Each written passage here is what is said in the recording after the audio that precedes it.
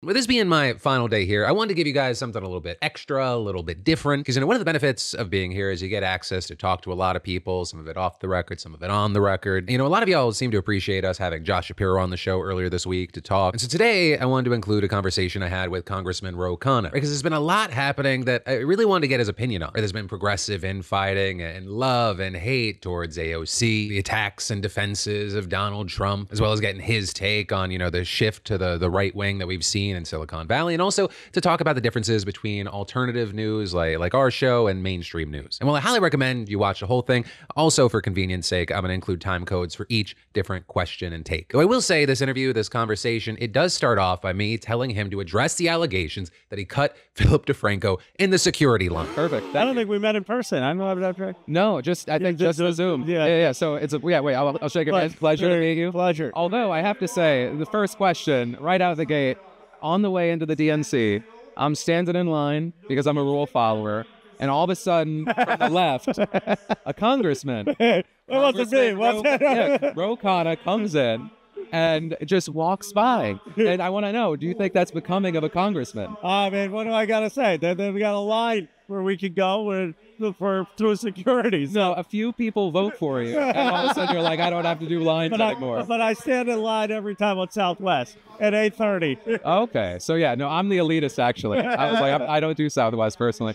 Uh, wait, so I have a I have a question because on the on the notion of labels, right? You've talked about you called yourself a progressive capitalist, and I was really interested after last night what your take is because there's like that classic criticism that uh, progressives they don't want power, they want the ability to criticize, and we have uh, Joe Biden, who's been described as one of the most progressive presidents out there. Uh, you had AOC last night just bringing down the House, but also it's very close to the, the DSA unendorsing her. So what's your what's your take on that when you when you hear that criticism? I think progressives have actually been very, very pragmatic with partnering with President Biden to get incredible progressive achievements. I mean, we have invested in new factories across this country after de- deindustrialization and corporate greed sent so many jobs offshore. We have invested in rebuilding the infrastructure. We have invested in putting uh, the child tax credit money in pockets of many uh, Americans. We've invested $100 billion plus in schools and HBCUs. So President Biden, after his 2020 run, saw the strength of Bernie Sanders' campaign, saw the strength of Elizabeth Warren's campaign, and said, I want to co-opt a lot of those ideas. And last night you saw that. I mean, you saw AOC, Hillary Clinton, Joe Biden on the same stage. Who would have thought that?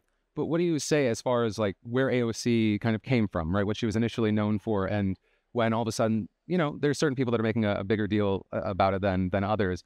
Do you feel like there there's there's any legitimacy? Like when when you see the that AOC is unendorsed, what's your take on that? I think that that's unfortunate. I mean, look, I, I everyone has the right to free speech and the right to to make their own assessments, but AOC's policies have not really changed. I've known her uh, her, her whole career. She's still for Medicare for all. She's still for free public college. She's still uh, advancing progressive ideas. The reality is that she's doing so in an effective way within the Congress and realizing how to wield uh, power. Uh, and that is a good thing. Now, if there are people who think that she's not pure enough or that she disagrees, then sure, criticize her. Run. I mean, we're in broad tent, and and and that critique is is fine. But uh, I don't. I view her as a progressive was advancing policy. The fact that Tim Walz was picked, the fact that AOC, Jasmine Crockett spoke last night, Jamie Raskin spoke last night. The progressives have a big say in the mainstream of our party. We should celebrate that.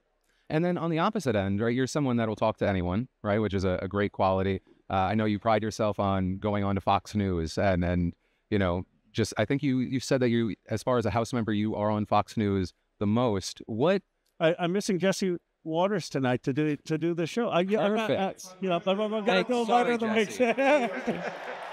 but uh like why what what would you say to criticisms that like I and this is understand this is not coming from me because I, I think I know what you're gonna say, but that they have you on, they have people to judge on, and that's a, a one in twenty experience, right? That they do that to legitimize the network that we're fair, and then 19 out of the other 20 times it's repeating Trump talking points or pushing conservative policy points. What what do you think about that? Like when you hear that criticism? well, more first of all, more Democrats should go on. Then maybe it'll become two out of 20 or three out of 20 instead of one out of 20. Second, th- those are folks who are hearing a point of view. And when I go on, I don't expect to convert them. I just want many of them to say, you know what, Ro Khanna, he's a patriot, he's a decent guy, man, I like him. And it's not an electoral strategy. It's a strategy that at some point in this country, we need to learn how to talk to each other, to respect each other, to figure out some common purpose as a nation. I don't know when that'll happen, but if we're not even willing to listen and to respect the modes of uh, mediums where people get their information, what hope is there for the country? And I mean, on on the idea of shifting uh, opinions, or I don't know if I would say shifting opinions. I'll, just jump straight to the question. What is what is your take uh, when you look to Silicon Valley and you see uh, a lot of billionaires, especially in this cycle, moving to Donald Trump? Do why do you think we're seeing that? And because I, I, feel like people say, well, it's money, but do you think yeah. it's that simple? Or I don't think it's that simple. I mean, first of all, two thirds of the valley still support Harris Walz. But Obama uh, had probably 80, 90%. In fact, I know Elon. Elon said he'd still support Obama if Obama was there. So why has this happened? A few reasons. One, I don't think our party has taken the right position on Bitcoin and the future of digital assets. We need to have a much more nuanced understanding of that issue. Second, we've got to be the party that says technology and building and entrepreneurship is good. Now, we have a vision of how to have the public private partnership. It was Obama's administration that made Tesla possible, that made SpaceX possible. But we need to say that we celebrate building and entrepreneurship and want to partner with government to do it. The final point of view is that uh, there is a reflexive free market anti-state sentiment in some of the younger folks in Silicon Valley. And we've got to go back to the tradition of Steve Jobs and Tom Perkins and Andy Grove that recognized that the state had a lot to do with building Silicon Valley. Us talk about that history. Do you feel like so? Do you feel like success has been demonized to some degree?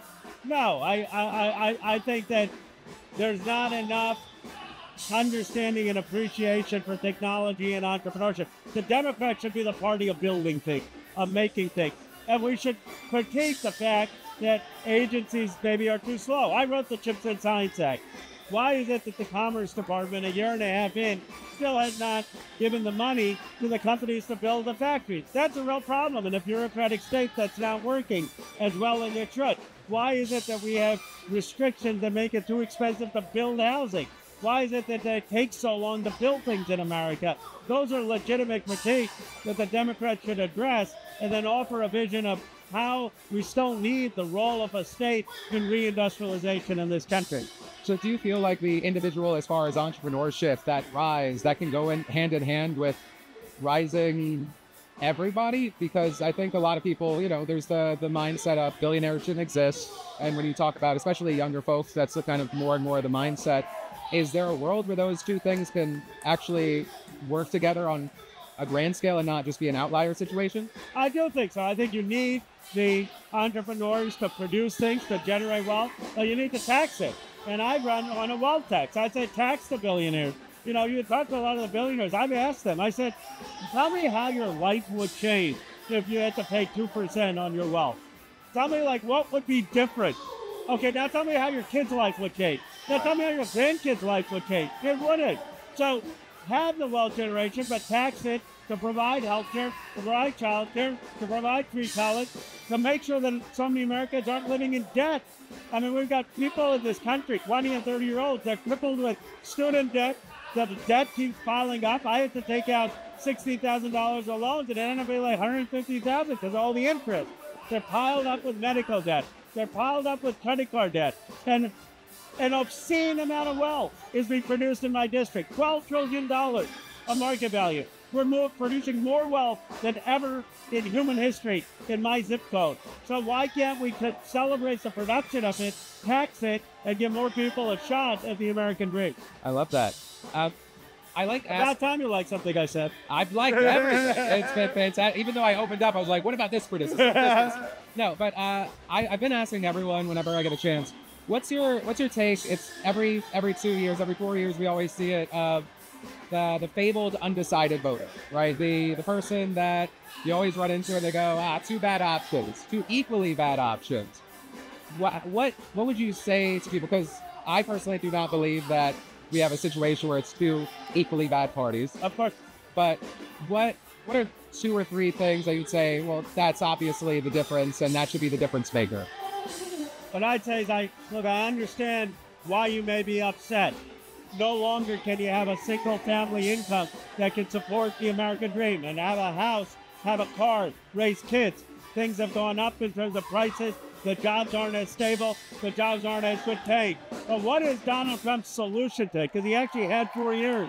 Where were the new factories? Where were the new good paying jobs? What he did was cut taxes. And a lot of those tax cuts came to companies in my district. And you know what they did with it? They didn't put jobs in Johnstown. They didn't put jobs in Youngstown. What they did is they gave money to stock owners through dividends and they bought up back their stock. What our party believes is investing in new factories and new industry in these communities and raising the living wage and actually investing in the working class. And that's the difference. Uh, I understand why you're upset, but we've got better solutions. And by the way, you're right to be upset for the last 40 years of policies that have been wrong at shafting the working class. When people bring up the specific numbers, when they talk about Donald Trump, what would you say to, to respond to or to counter people that say, well, things were good, right? Their narrative is it was good, but COVID happened. That skewed everything. And so now everything's, sh- uh, it's a shifted lens. Well, first, I would say that it's the numbers actually don't show that with manufacturing. Under President Biden, there's been twice the manufacturing investment. There have been many times more of the new factories and new investment in left out places. The second thing is we had COVID, and COVID was devastating, and it was devastating precisely because of Donald Trump's leadership. And Joe Biden had to dig us out of a huge ditch. We, he inherited unemployment at 8%, and he brought it down. He inherited an inflationary environment because of COVID.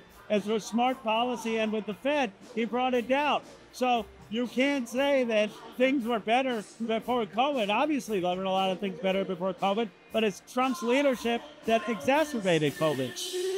And one of the last things I want to ask is I'm, I'm here on a creator credential, right? It's the first time the DNC is doing it.